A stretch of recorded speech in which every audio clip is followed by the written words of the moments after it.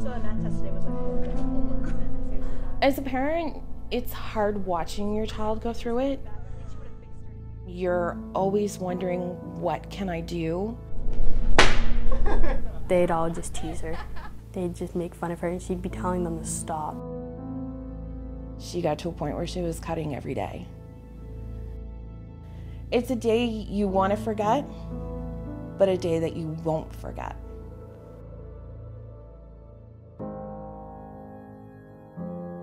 Morgan was the youngest of five.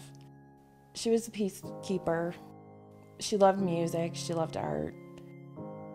Morgan was my best friend more than a sister. We all know that twins have that connection that nobody can understand or explain, but yet it's fascinating to watch. We knew she was having issues even when she was in grade school. She was picked on because she was so tiny. They'd come up to her and call her names, and she'd run away crying. She'd get home, check her Facebook, and certain people would tell her that you're ugly, go cut yourself, or go kill yourself. We looked all through her social media, we looked through her phone, and we found a lot of messages that were just outright nasty and things that you wouldn't typically see a 12 and a 13 year old saying to somebody else. With Morgan, the bullying really started wearing her down. She became very withdrawn, very depressed. She started starving herself and self harming. I woke up through the middle of the night with her crying and um, her in the bathroom vomiting. The school did know. They were aware of Morgan being bullied. There wasn't supports for Morgan when Morgan was going through it. I remember waking up and um, getting dressed with her, doing our makeup. We were laughing and singing and dancing. We are just like, finally, school is out. We all had appointments that day. After the first round of appointments, she just got out of the truck and decided she was going to stay home.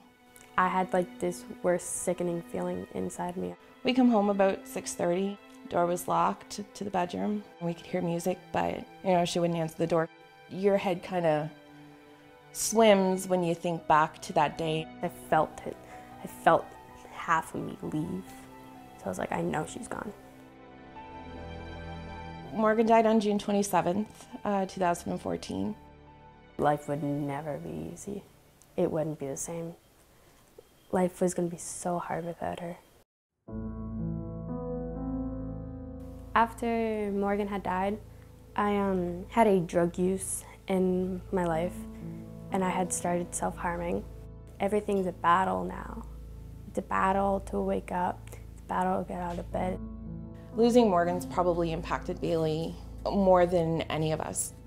She's not the same Bailey she was. After I had done the drug use and cutting, I knew it was going to get me nowhere in life. So I knew I needed to stop and get help. So when we made Morgan's Mission, it helped me a lot. Words of hope, no matter how dark the world is, shine as bright as you can. I think a lot of people should live by that. Morgan's Mission is a campaign we made after we had lost her. We would like to end the stigma of bullying and mental health. We are hoping to prevent suicides from around the world. We do want to see change happen as far as legislation, as far as you know how the community is viewing bullying. Suicide prevention is big for Bailey. It's personal to her. She's battled her own thoughts since losing Morgan. She's done videos on YouTube in regards to, you know, her thoughts on suicide and mental health. But suicide is not the answer. She uses dance as a form of therapy, and her next big feat will be Miss Teenage Canada and preliminaries for for Alberta here in February or March, and that's her platform. On behalf of the City of Fort Saskatchewan, proclaim October 10th 2015 as World Mental Health Day in the City of Fort Saskatchewan. Let's all do our part and bring about the awareness that's so required.